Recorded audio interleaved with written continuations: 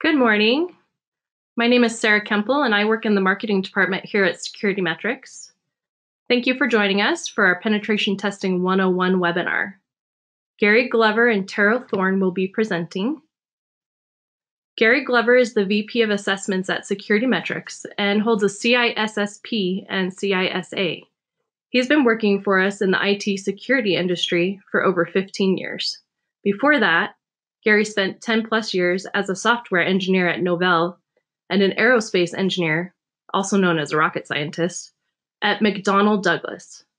Gary has a Master's of Science degree in Mechanical Engineering from Brigham Young University.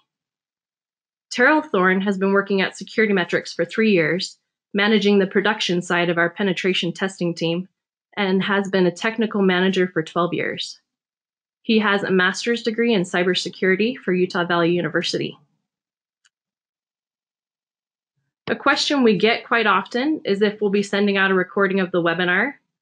We will send a recording of the webinar to your email address within the next couple of days. Also, if you have any questions during the webinar, please chat them in on the GoToWebinar panel, and we'll take the last 15 to 20 minutes of the webinar and we'll dedicate that time to answering your questions. If we can't get to your question, we will reach out to you on an individual basis. Without further ado, I'm going to hand you over to Gary and Terrill. Thanks, Sarah. Uh, we're going to cover the agenda real quick here. Um, we're going to be first covering penetration testing basics, how to prepare for a pen test, uh, the life cycle of a penetration test, and then we'll talk about any takeaways and answer your questions uh, at the end of the presentation. So we're going to start off, like I said, with penetration testing basics.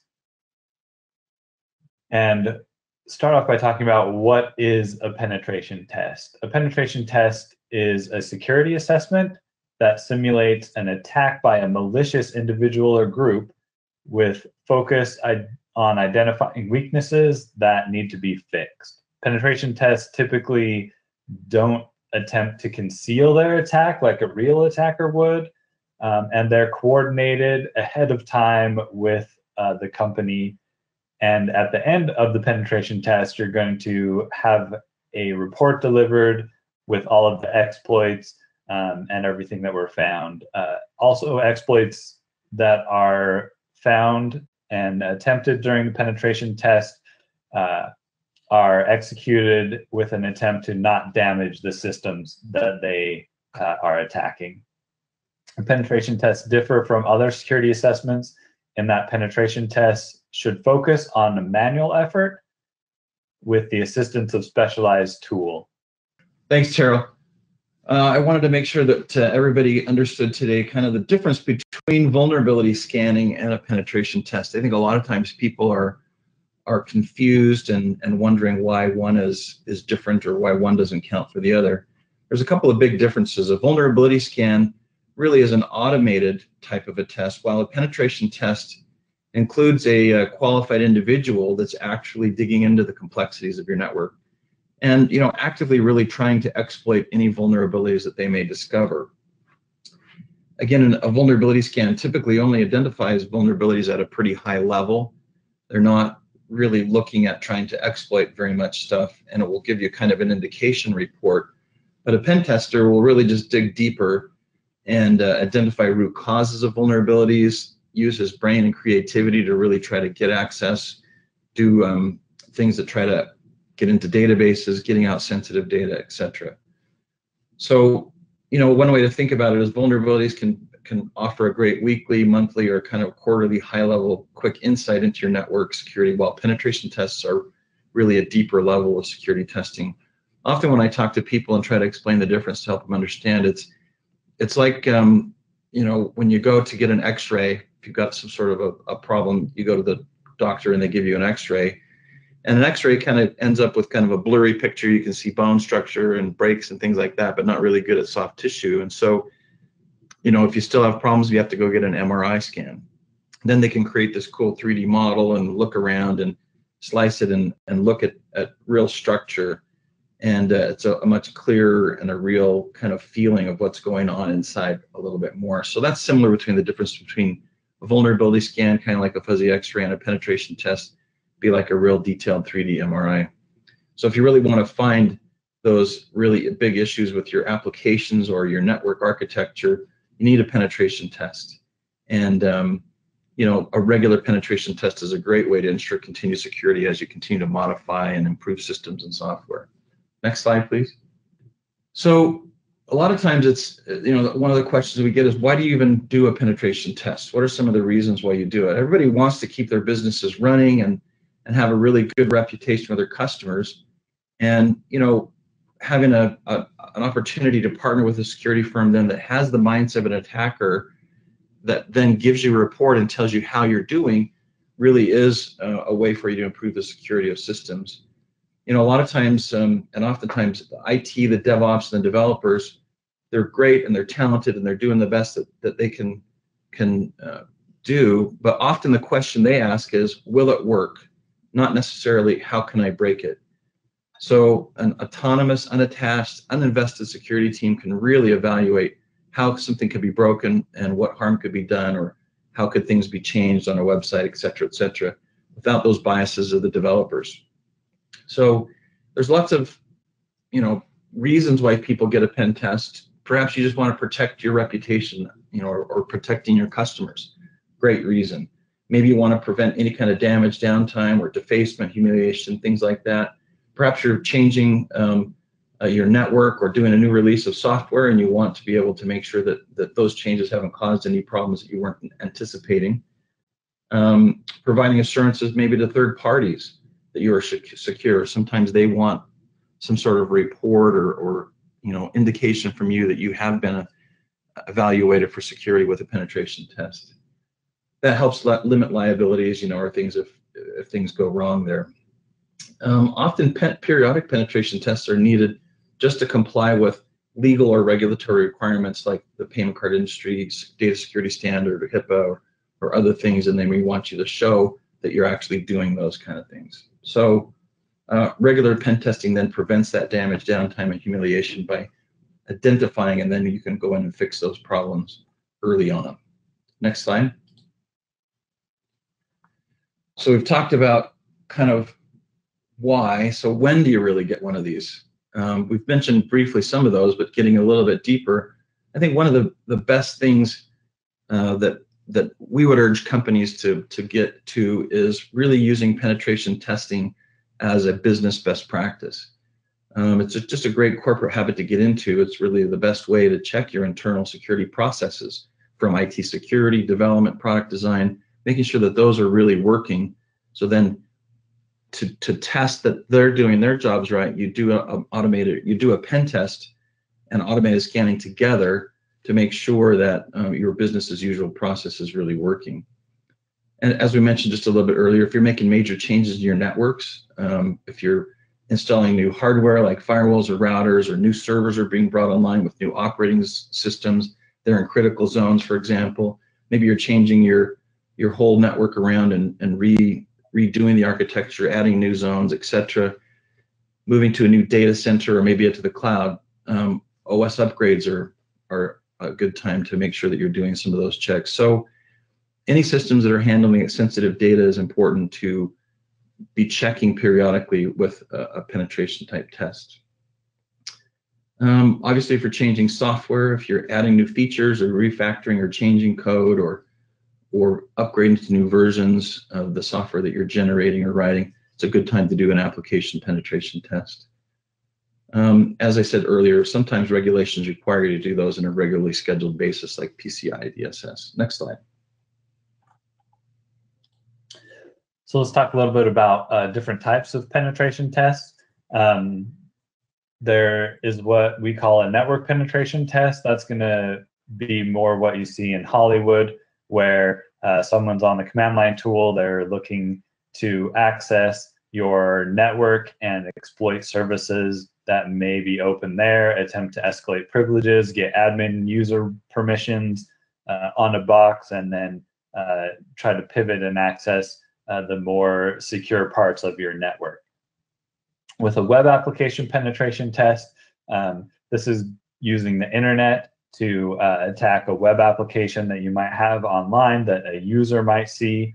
Um, you're going to be testing anything from just like a simple payment page to a full login administrative console where you manage multiple customers.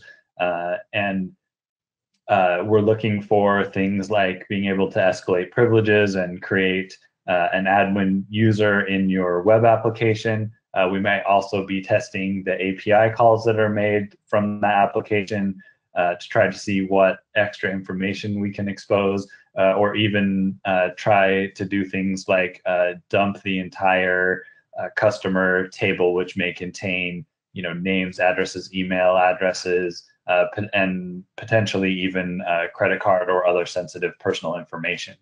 Um, and then finally, we per, we also perform what we call a segmentation check. Uh, oftentimes, you want to make sure that uh, different systems don't have access to sensitive uh, areas on your network.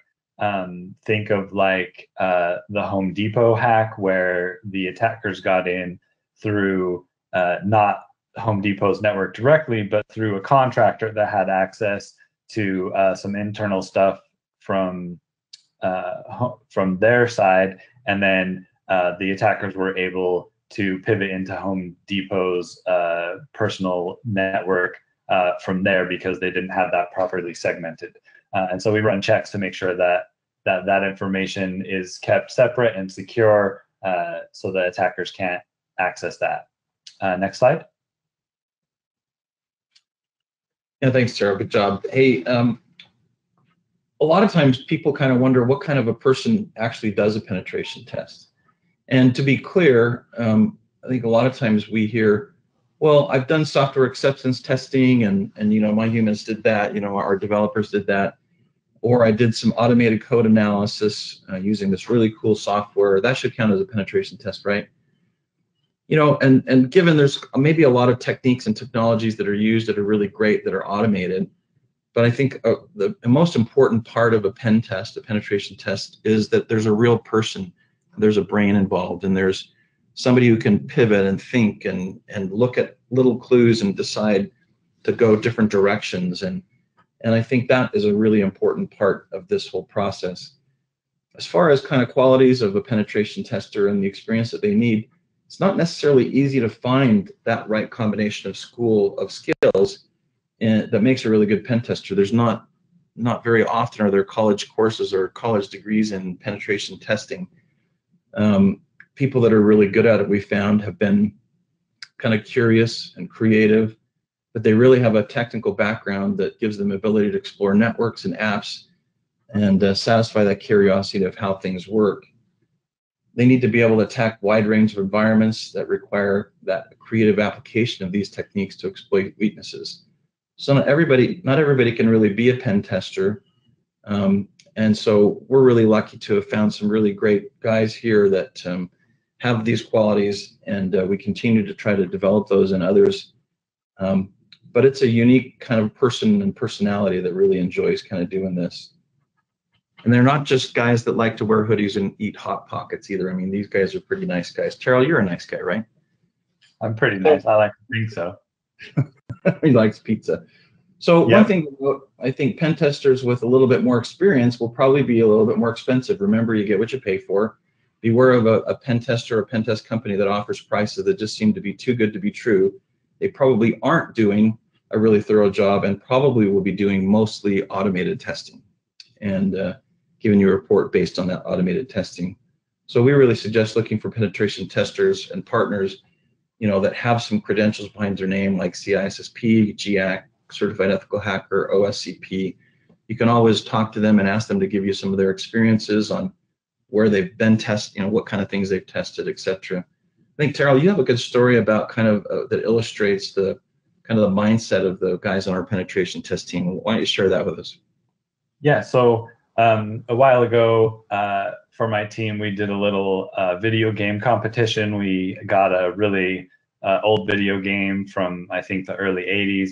Um, and and we had a competition to see who could get the highest score in that video game. And then once the competition was over, uh, rather than just like um, walk away and and do nothing, uh, the members of my team uh, took the code for the video game, they decompiled it, they figured out uh, different ways and how they can spawn uh, items and how uh, they can defeat each level and win uh, faster and get higher scores and different things like that from looking at the code in the video game, uh, and then went back and continued to play it uh, and and were able to uh, just kind of almost make the game a little bit trivial because of all the information that they gained just from looking at the base code of video games. So it was it was pretty interesting for me to watch them kind of take this thing that wasn't even intended as part of the competition and just kind of run with it and take it further than I ever thought they would.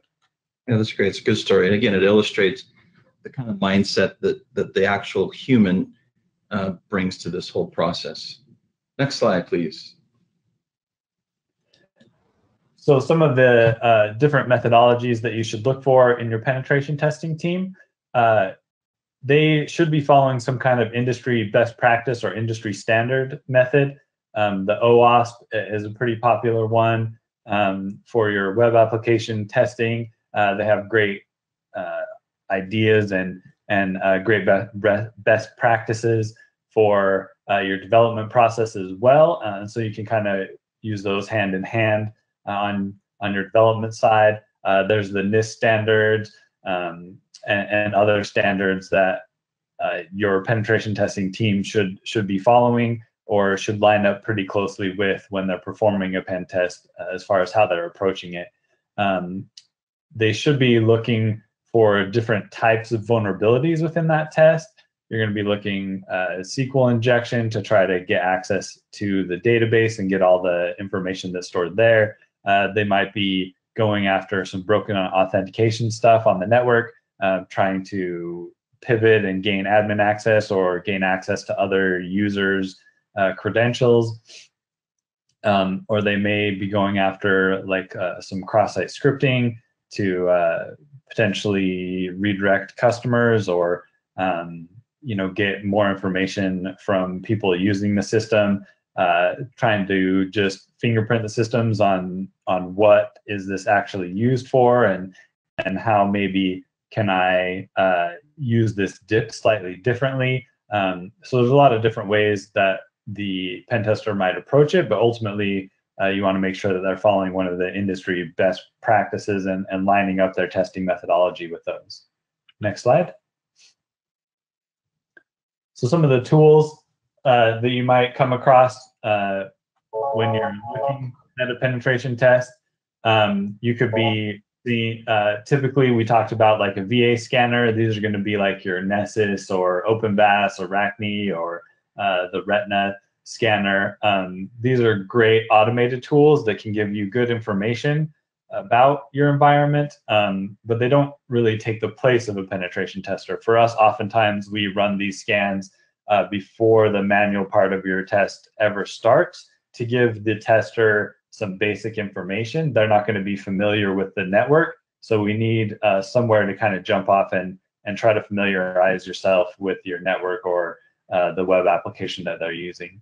Uh, you also might see uh, a web proxy being used. Uh, typically, you're going to see either Burp or Zap or possibly Man in the Middle proxy. These allow you to intercept the web traffic uh, before it's actually sent to the server. Then you can modify that traffic however you want, um, and then send it on, and then check the response that you're getting um, and, and it gives you more control over what's being sent through your browser. Um, there's also some specialized software that you use, like uh, Nmap, which many of you may be familiar with uh, for network scanning. Uh, there's Metasploit, which allows you to craft uh, payloads to send after uh, and try to accomplish some of the goals of your penetration test. Uh, there's password crackers like Hashcat or maybe John the Ripper. So there's a lot of different things uh, that a pen tester may use uh, depending on the circumstances they come across. Uh, and then for us, um, we also have specialized appliances that we deploy. Uh, we use a Raspberry Pi or just a, an Ubuntu virtual machine to put on the inside of your network if it's an internal penetration test that allows us to securely connect to the internal portions of your network and then test those internal portions without having a, a person on site. Um, so you during your penetration test, you could see any number or any combination of these different tools uh, being used uh, to find vulnerabilities and exploit them. Uh, next slide. So when you're thinking about doing a penetration test, you also want to make sure that you have budget set aside for it. Um, this slide gives you a little idea of uh, what you can expect for your company if you're looking for a penetration test, um, whether it be just a small uh, network or a small web application um, up to large zones and uh, multiple large networks. Um, maybe you know you're a Fortune 500 or something. Uh, you're going to be paying a lot more because you have a lot more assets, a lot more things in the industry. Um, so this is uh, meant to give you just kind of a ballpark idea uh, of what you should be looking at to budget for the penetration test. Next slide. So now uh, we're going to talk a little bit about how to prepare for your penetration test. Um, and Gary, what are some of the things that people need to know when they're getting ready for a pen test? Yeah, thanks, Terrill. I think uh, an important question, which is you know something that is used to a lot of different places. What's my motivation? You know, what do I really want to find out? What are my requirements? Um, this really helps a pen test company um, know kind of how to approach the testing. Do you want to know, just know that you're secure for your own self? Do you want to improve and evaluate your security posture?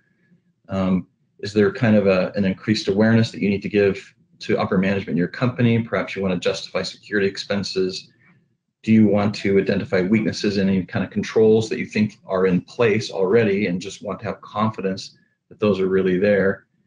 Um, perhaps maybe you're having a lot of security incidents and you want to reduce the frequency and the impact of those security incidents. Those are all kind of reasons uh, for just wanting to be secure and helping yourself feel better about it. Um, often there's third parties that require proof that you can be trusted with their customer data and their sensitive data. And other times it's just, you know, I you need to know that you're you have to comply with some sort of legal and regulatory requirements, PCI, DSS, ISO, HIPAA, FISMA, all, all these different kinds of um, requirements, security requirements and frameworks often will, will need that. So helping us as a penetration company kind of know what your goal is, what you need to, will help us um, design the best type of a test uh, for your situation. Next slide, please. So some of the things that you could expect from a penetration test, um, you need to take what your goals are that Gary just talked about, um, what you're trying to accomplish, and match it up with your expectations. So uh, are you looking for a really deep dive into your systems? Do you want the attacker to just go after um, find a, a, small number of vulnerabilities and go after them and see how far they can take him? Or are you looking for your penetration tester to find a large number of vulnerabilities to improve the overall security of your systems? Um, a lot of times in the industry, you'll hear these terms like black hat, white hat, maybe even gray hat. Um, so attackers can wear a lot of different hats there. Um, so black hat is going to be your malicious actor who's trying to break in and, and cause havoc. Uh, your white hat is maybe someone on the inside uh, who already works at your company, um, who has prior knowledge of what the network looks like or what the application uh, is used for because they've used it themselves. Um, and then they have uh, permission to perform the test. Um, and then there's uh, what's referred to as a gray hat, which is kind of somewhere in the middle. Typically, uh, for us gray hats, um, you are going to have permission to test the system. Uh, you're going to not have any prior knowledge of what the system looks like. So again, you're going to use those automated tools for discovery. Um, but the most important thing is you're trying to simulate an attack uh, that a black hat might use that uh, without prior knowledge or anything coming from a, a similar perspective of a black hat. Um, so you can also have authenticated versus non-authenticated testing. Um, so authenticated testing gives the pen testing firm uh, greater access to be able to actually test your applications or your network um, because the penetration test is limited by time. Uh, your your budget and your time you can only afford to do so much, whereas a true black hat hacker um, has all the time in the world to access your system, so they can bypass your external perimeter uh, security stuff. Um, and then what happens once they get inside? Uh, versus a non-authenticated test where you're just uh, simply trying to bypass that information or checking uh, their password policies to make sure that you can't easily brute force a password, different things like that. Um, during your penetration test, uh, you should expect some noise or traffic. Uh, penetration testers, like we mentioned before, they're not trying to hide or mask their attacks in any way like a real attacker might. Um, they generally want to try to identify the issues as quickly as possible and then uh, do whatever they can to exploit those issues again as quickly as possible. Keep in mind again that they're kind of on a clock, um, so they're not trying to be sneaky or or hide what they're doing like a real attacker might. Uh, and then at the end of the uh, penetration test, what you should expect is a detailed report with all of the issues and steps to reproduce uh, those issues and the penetration tester uh, should really be able to help you improve your security by identifying uh, those recommendations. Uh, next slide. So, often a question that people need to ask themselves is, do you have an in-house resource to your pen test or do you outsource to a, a third party to do it? Um, both are viable. It really kind of depends on on sometimes what if there's a regulatory requirement that that needs it to be third party. But you can use an internal team, but those skills need to be there that we've talked about earlier. They need proficiency in testing. They need understanding of how to, you know, look at networks to, you know, exploit them to get into them. They need some proficiency in in maybe the OWASP standard uh, to help them understand how to get into applications and how applications work. They probably need to have some development skills a little bit. So it's not just really running an automated tool like Metasploit and saying that's, you know, now we've done our internal pen test. And the team doing a pen test, if they're internal, needs to be an independent from your implementation team. In other words, you wouldn't want a developer conducting a pen test on his own web application. You would want a third, a, a different, hopefully disinterested party to be able to give the good feedback there. Um, and you know, the, the internal team probably needs to have good reporting practices as well. Um, in in the past, as an IT auditor, I got a pen test report from an internal guy that all it was was a one-page spreadsheet with some IPs and a few notes on it, and he said, "This is my penetration test report," and it just didn't pass muster, and and uh, we needed them then to go get a different pen test from a third party. Um, you can use then also an external firm to do the work, and um, you know we talked about some of the things earlier, what things you can look about, look at in that kind of a company. Um, they should have those qualifications we talked about. Maybe they've got past experience. How long have they been doing it? Have they assessed similar networks or companies before? Are they familiar kind of with the type of work that you do? Uh, what technology experience do they have in OSs, network hardware, web application experience, languages, etc. So um, how, having to go through kind of that some of those questions in your mind really helps you in knowing how to find a good penetration test partner. Next slide. So, so another one of the things you can do uh, to help prepare for a penetration test is uh, to have some things uh, for your company. You should have a network diagram that's uh, up to date and maintained, along with uh, a map on how the data flows through that environment. Um, you should be able to have a list of active hosts that, again, uh, needs to be as current as possible. Um, and then you should also know what services should be open uh, throughout your network or uh, available through your web application. Um, all these, all this information uh, you don't necessarily need to share with your penetration testing firm, but it will help you be ready in case your penetration tester ha- has any questions, they need to reach out to you. They need a little bit more information. Uh, maybe they're running into some kind of issue. Uh, and a lot of times uh, they may find uh, an exposed service that you didn't know was available. So knowing what should be available versus what is available uh, really helps you as a company to know um, how effective that penetration test was and how well it met your needs. Uh, next slide. Thanks, Terrill. And that that knowing about your network really helps with this next step, and that's helping yourselves and your pen test company or the whoever's doing your pen test, internal, external, should should be able to know, okay, what is the scope? Where do we want to focus our our, our testing on? Um, it should include obviously very critical systems that may impact the security of any kind of sensitive data is being stored. Um, maybe there's an application that's written specifically for your information that you want to have somebody look at. Um, in the in the payment card space, there's some real specific um, areas that are required to be tested, places where credit card data is, is stored, processed, or transmitted, and any systems that may affect the security of that. You would want to make sure that um, you're protecting people from pivoting into uh, the the sensitive card holder environment from a less sensitive area. So all of those perspectives, both internal and external, then need to be to be tested.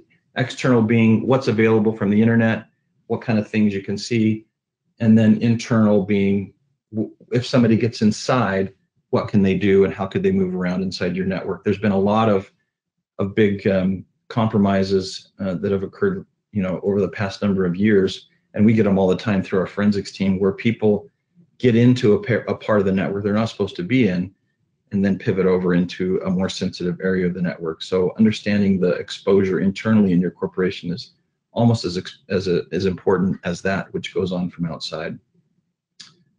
Um, and again, you know, remembering that you want to test is it you want to are you focusing on the network controls do you have a lot of applications you want to test communicating those to the penetration test company will help us scope out the amount of work and give you a good estimate of how much time that would take and, and give you the kind of information that would we would require to make that an effective and an efficient test. Next slide.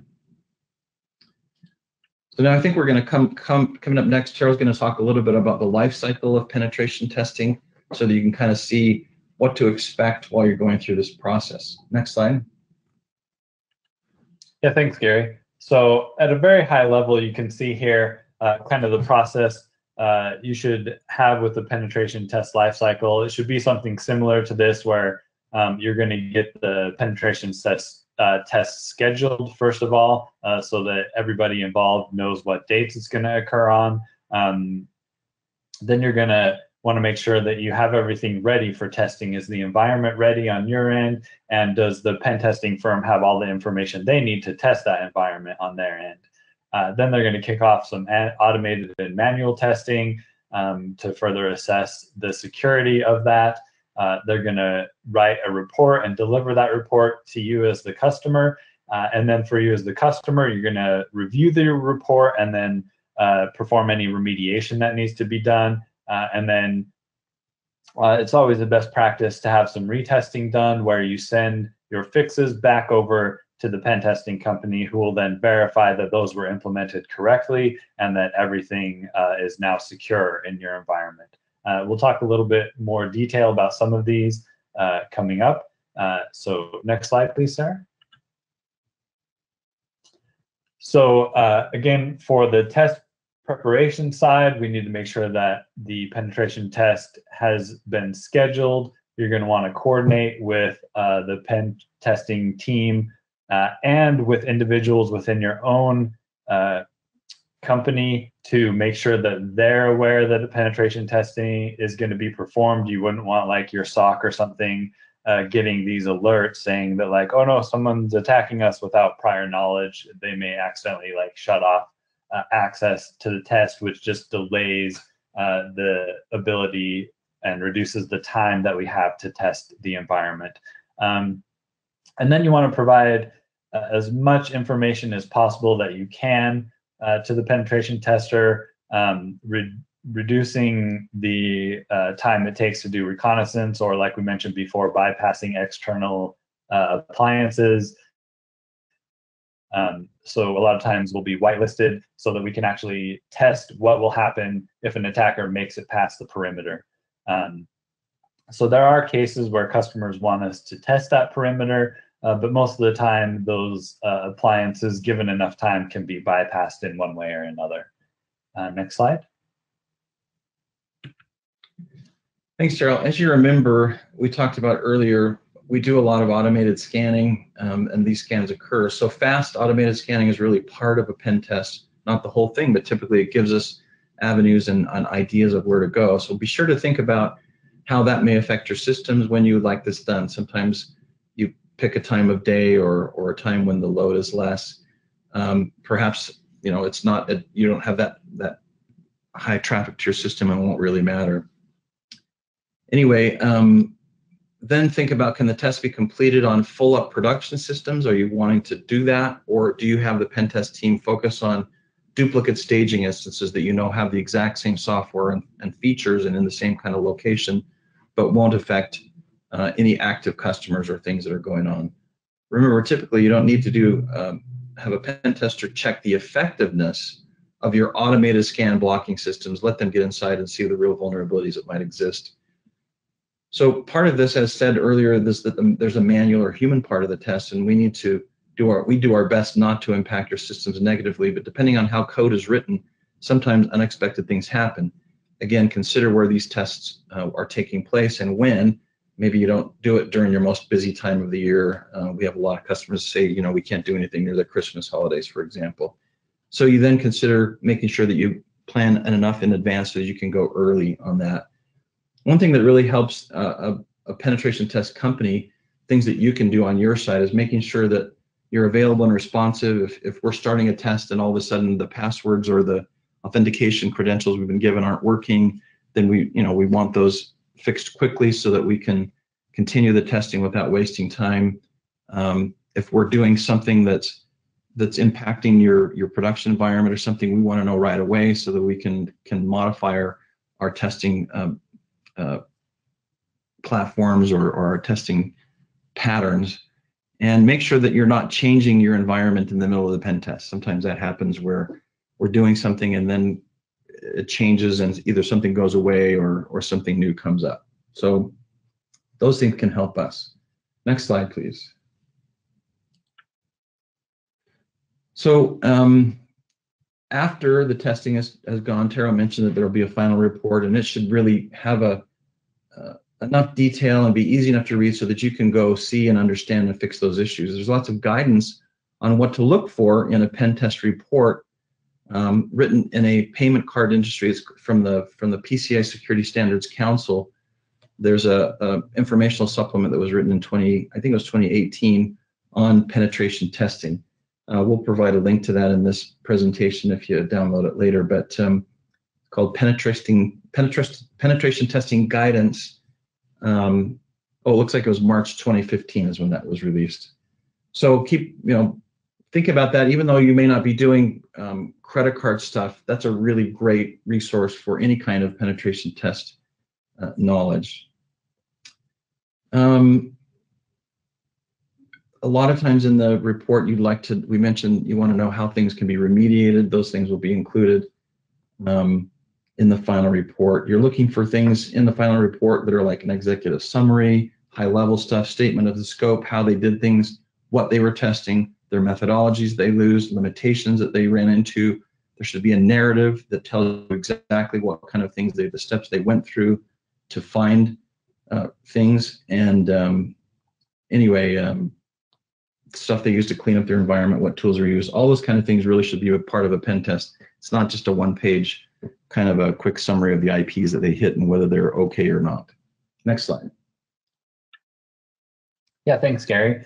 Uh, so now that you have the penetration test completed, you've received your report, um, it's the client uh, should be reviewing the report, analyzing those findings that Gary talked about, um, looking to see if the penetration tester has been able to identify the root cause. Many times they can, but sometimes they're not able to, and they're just looking at the symptom uh, of, a, of a bigger issue. Um, and then as the client, you want to develop an improvement plan. Okay, th- these are the results that we got. Um, maybe there is a disconnect in our development lifecycle that we need to fix uh, so that anytime we roll out new software, it's a little bit more secure than it was last time. Um, so uh, you want to make sure that you take a close look at those reports and understand what is available in them. Next slide. And so after you've reviewed the reports, um, now you you've given that information and the tasks over to your development team or your network team to make changes to the network to secure them. You want to make sure that uh, you know you're installing patches or reconfiguring software. Um, you want to make sure that you're um, updating the code for any applications. A lot of times we find uh, simple issues that are just you know uh, old OS or or an application that just uh, has a more recent version. Um, you want to make sure that you're uh, on your network, you're closing off any ports that don't need to be open that aren't uh, mission critical for you. You want to restrict access as much as possible um, to allow you to still do business, but you want to make sure you don't have anything extra open.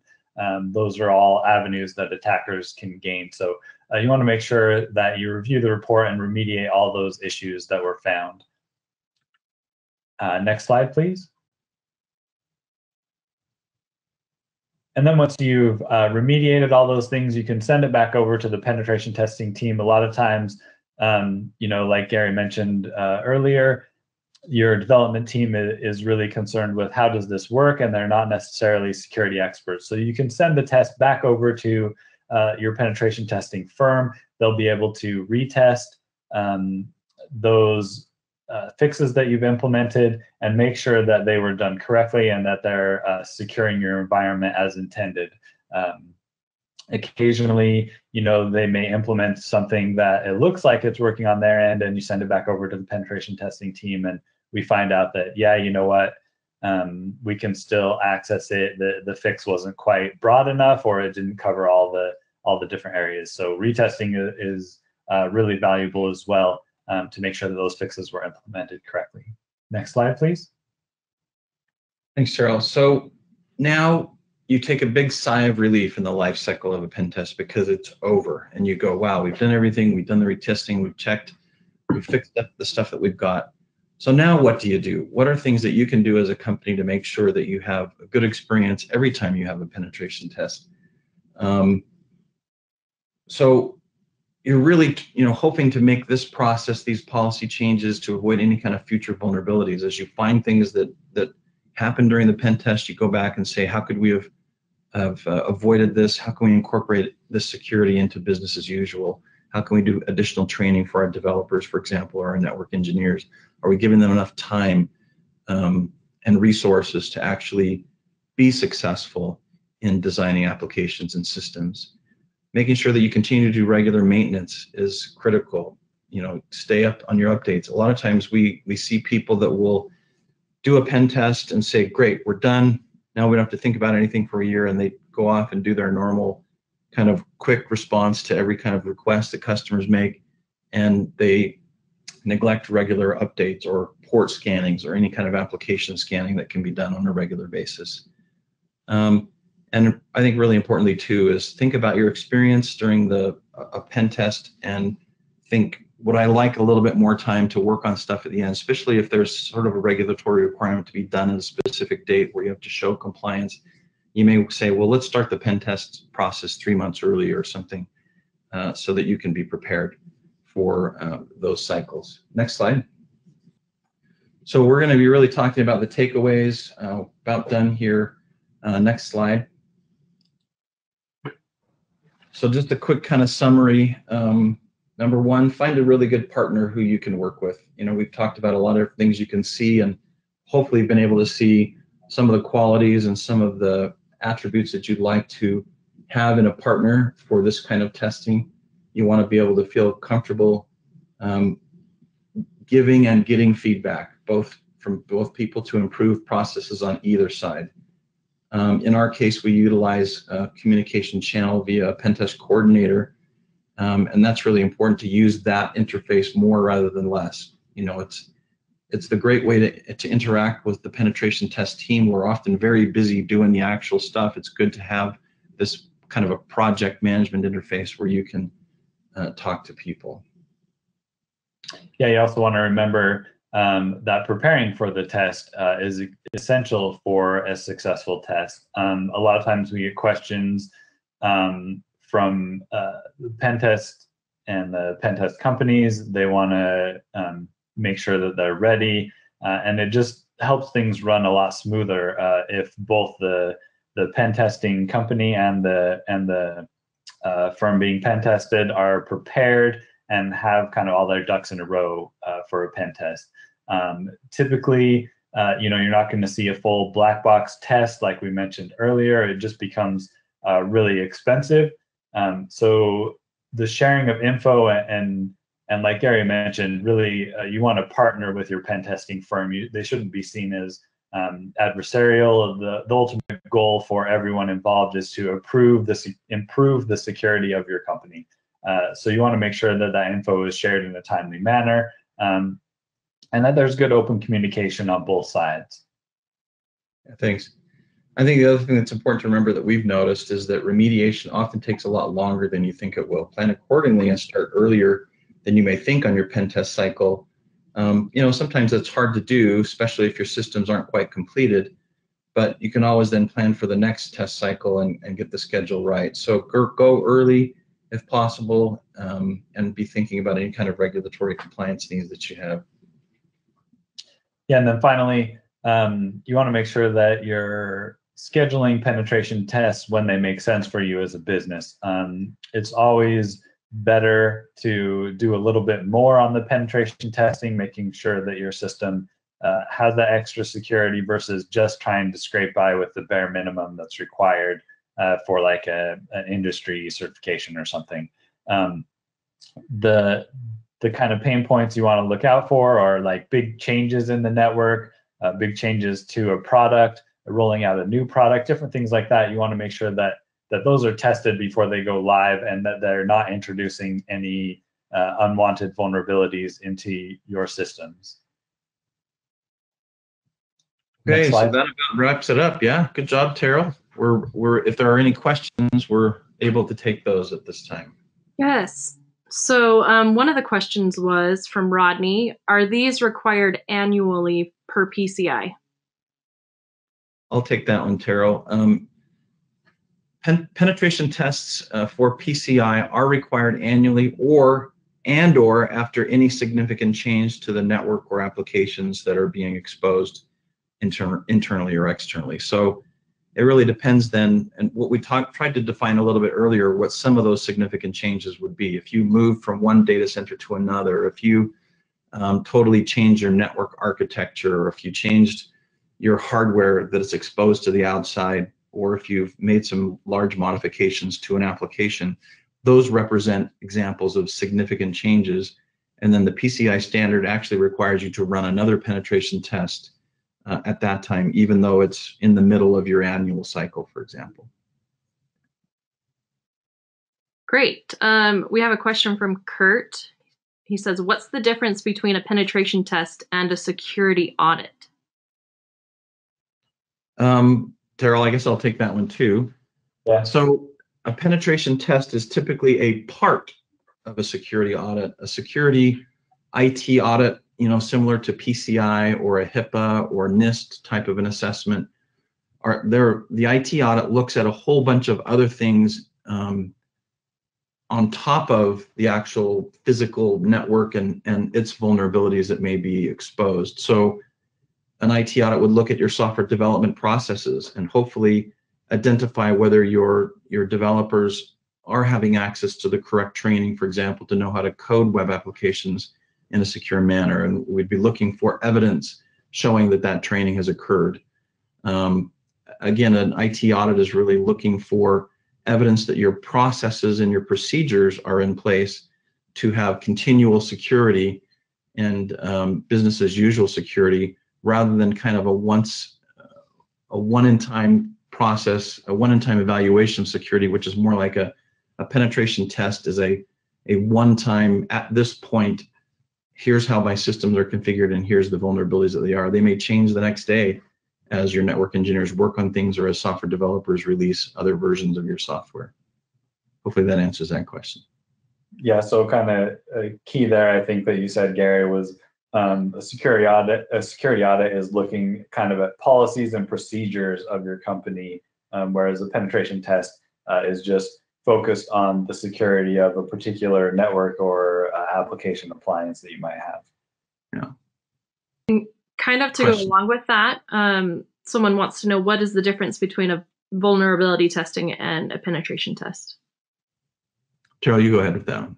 Yeah, so uh, typically a vulnerability assessment, you're using automated tools. Um, they they don't have any context. They're just simply like scanning the network um, and looking at different vulnerabilities, and then you're just going to get like uh, almost like an information dump of like here's everything we found. Um, versus with a penetration tester, um, they may still run a vulnerability assessment, but then they're going to examine those results. They're going to comb through those. They're going to go after the services that are most likely to be exploited. And then they're going to give you a, a better picture of what an attacker might do and what you might see from a, an external threat. Um, where again, vulnerability scans being automated, they just they lack the context. They lack that, uh, as Gary put it, they lack that uh, human brain uh, behind the behind the test. So you're not getting the same like reasoning. Um, a lot of times, automated scans aren't able to see uh, the commonalities between two different applications, um, and maybe you you know they report a vulnerability in one thing and not the other. Um, whereas a, a human can see like, oh, the same developers worked on these, so chances are, um, you know, similar mistakes may have been made. So let's go over here and see if we can find something that might not have been as obvious um, that an automated scan would pick up. Great, thanks, Terrill. Um, Marine is asking, what are the risks of using a third-party company to do pen testing for an organization? Is it recommended? Which is recommended? Internal independent pen testers or a third-party firm doing it? I think that really uh, kind of depends on what your goals are uh, as a company. Um, you know, when looking at a third party penetration testing, uh, like we mentioned earlier, you, you really want to make sure that you've done at least a little bit of research on the company that you're choosing. Um, and you know maybe even have some phone calls with uh, the folks over at that company um, potentially even get some like sample reports or something uh, to talk about their process and their approach to penetration testing. Uh, it's important to feel comfortable with the third party if you decide to use a third party. Um, and if you do go with a, an in-house penetration testing, um, again, like we mentioned, you want to make sure that these individuals um, are in a separate uh, department, potentially and, and hopefully even under different management than like a development department was, um, so that they have kind of the freedom and autonomy to uh, test things and report things um, that are broken without worry about you know getting their friend in the next cubicle in trouble for it. Uh, the point of a pen test shouldn't be to get people in trouble. It should be to improve your security. So if you can accomplish that um, in house and you have the setup to do that, um, that's great. Um, otherwise, you know, third party companies out there, do a little bit of research on them. Uh, and then just be aware that some um, standards or regulations might require you to have a third party conduct that penetration test as well. So, yeah, and let me let me say with this one quick thing that may be another kind of aspect of the question is that is it safe to use a third party? Um, again, I think that's going to have to be some due diligence, as Terrill mentioned, on the part of of the company, you know, who wants a pen test are there really good and trustworthy people out there who are just trying to help you and, and won't release your data? Of course there are. I mean, that's there has to be. Um, but um, you know, you can ask for references. We we we expect people to to check and call and, and check our references. That's not a problem with us. You know, if if if they won't talk to you except by email or some dark web hack chat channel, then maybe those guys aren't the best ones to go with. But um, it should be a, a, really above the board. Typically, we have uh, companies like this. We have uh, liability insurance for all of our pen testers, et cetera, so that um, it's a really legitimate um, type of a relationship rather than, and you don't have to feel worried about us releasing your data or anything like that. But you know, are there bad actors out there that do that kind of stuff? Maybe there are. I'm not aware of any, but I'm sure that there. I don't have experience talking with any but there might be. But you should feel comfortable going with a, a, a business industry standard kind of a pen testing company. Great. Um, Ricardo here asks, from your experience, how many companies succeed in their penetration tests, meaning that they aren't vulnerable? Harold, you got this one. Um, that's a tough question. Um, uh, keep in mind, uh, a penetration test is just a, a snapshot in time. Um, and it's also limited by the budget and the amount of time that the uh, analyst might have to test it. So, um, for example, uh, you know, if, if you have a rather large network and uh, you're only giving your penetra- uh, penetration testing firm one day to uh, examine that network, um, well, then likely you're going to come away with a pretty clean report, if not a totally clean report. Um, and, and, you know, is that success? Well, maybe, maybe not. What it does tell you is that um, in one day, an attacker isn't going to be able to, you know, exploit anything on your network. Um, so it's not necessarily um, a, success fail uh, scale there. Um, we do see um, a fair number of companies that walk away with um, a clean test. Um, but again, being that it's a snapshot in time, uh, just because it was, uh, you know, we didn't find anything this year doesn't mean uh, that we won't find anything next year. We also uh, for our company, we try to um, spread out the penetration test so you don't have the same analyst working on it year over year. That way, you just get a different perspective because different people uh, have different specialties as far as their skills go. Um, and so, what one analyst might not uncover one year, another analyst might uncover the next year. Um, so, I mean, it, it's still good, even if you come away with a clean report. I mean, that that's great. Um, but just keep in mind that that doesn't necessarily mean that there are no vulnerabilities. It just means, um, you know, given the time we had, we weren't able to find anything exploitable in your environment. Um, still a great sign, um, but you know, uh, and you should feel proud of that. Um, but it doesn't it doesn't necessarily mean that there's zero vulnerability in the system.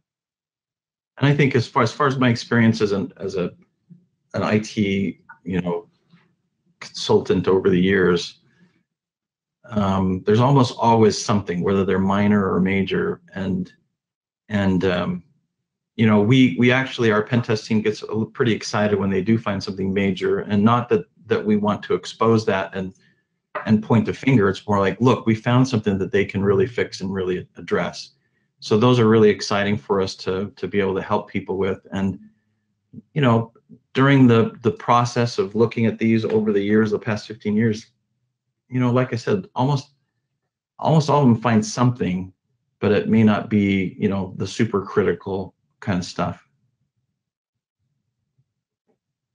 Great. So it, it seems like we've had a few questions about um, on-site versus remote. Could you guys cover that real quick? Yeah, let me, let me talk for a second about that. Um, there's a both perspectives I think are are good. Obviously, if you're testing from an external perspective, from the internet's perspective, remote, you know, doesn't make make a big difference whether you're remote or not. Um, an on-site uh, penetration test with a, a, a, guy in your network uh, there can be real advantageous. Um, you know, he may ask questions and go around and look at printers and all that kind of stuff.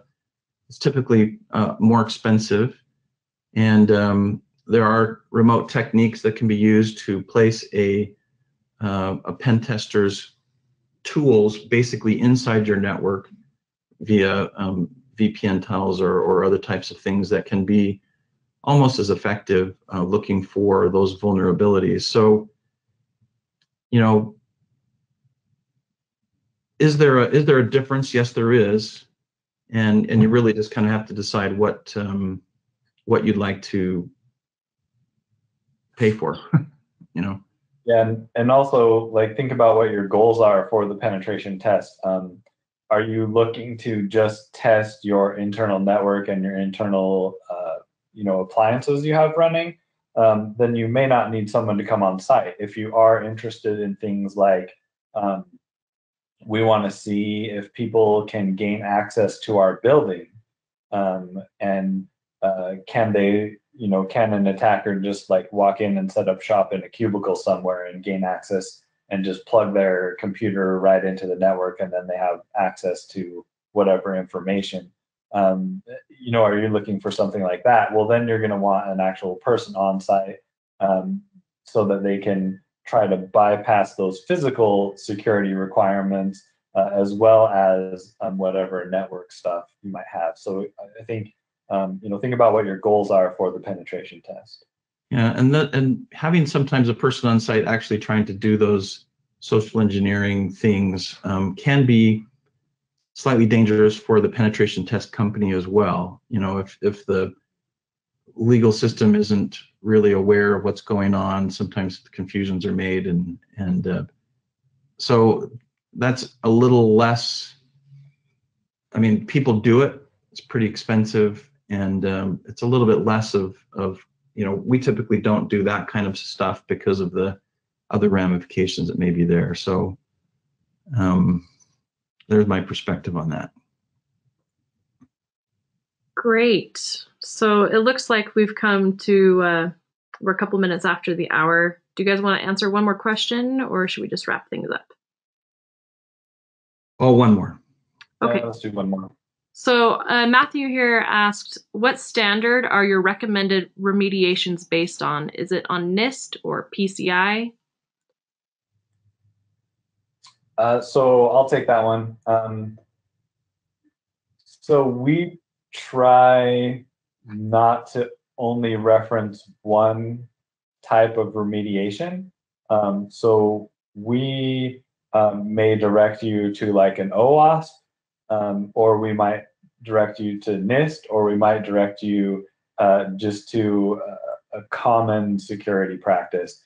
Um, and it also kind of depends on what your purpose for the penetration test is. If you're conducting the penetration test for like a PCI uh, assessment, then we're going to try to reference everything we can within that PCI scope um, so that uh, you can kind of map that back to a requirement in PCI. Um, if it's just an elective test where you're just trying to improve the overall security, uh, you may get a much broader um, selection of where that remediation comes from. Uh, my team typically tries to give you uh, two to three options, uh, two to three different ways to remediate an issue, and we'll uh, give you references uh, and and cite different best practices to do that. Um, but ultimately, we leave which one of those you choose um, is kind of up to you as the as the consumer uh, and as the receiver of that report uh, to figure out which one of these standards make the most sense for us, which one is going to be easiest for us to implement, um, and then uh, go with that one. So yeah, summarize, we kind of reference uh, any industry best practice, regardless of where it comes from. Great. Thank you guys so much. Um, I think with that, we'll wrap up the webinar. And for those of you that we didn't answer your questions, we will reach out individually to you. And also a reminder that we will be sending out a recording of this webinar within the next couple of days. So keep your eye on your inbox for that. Thank you, and thanks for joining us.